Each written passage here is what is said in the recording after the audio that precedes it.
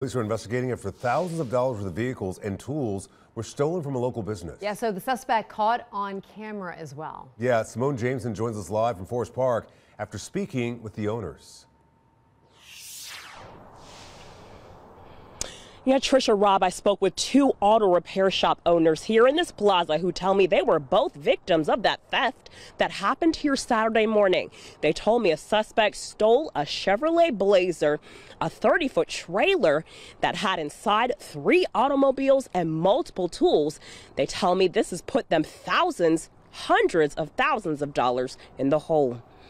We've been hearing a lots of robberies, trailer thefts, um, equipment thefts. You know, you never think that it would hit you home or nothing like that. Timothy Moss operates the Junk Boss inside this auto repair plaza on Chappell Lane in Forest Park.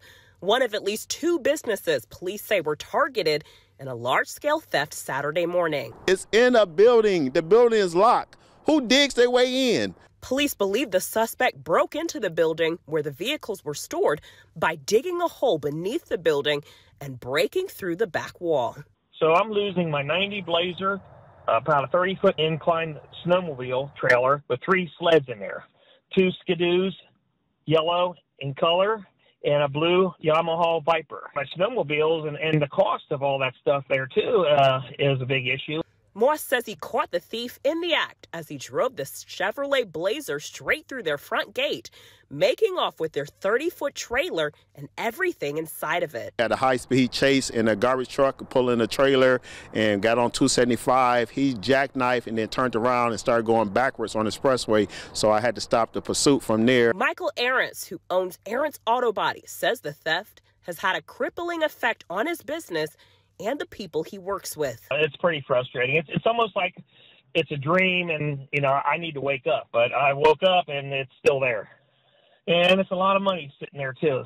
Both business owners tell me the theft forced them to pause operations for the weekend and reevaluate their security measures. Young guy that did that, he wasn't no professional. He had some knowledge from somebody else about what was in my garage. Now they're holding out hope that the stolen goods will turn up sooner than later. We still got to go to work. We still got clients that we got contracts with. We still got to fool. We want our stuff back. That's the only way we can make money.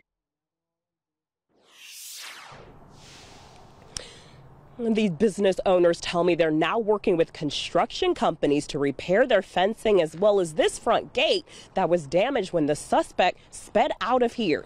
Anyone with information about this theft incident is asked to contact Forest Park Police. Live in Forest Park, Simone Jameson, Fox 19 Now.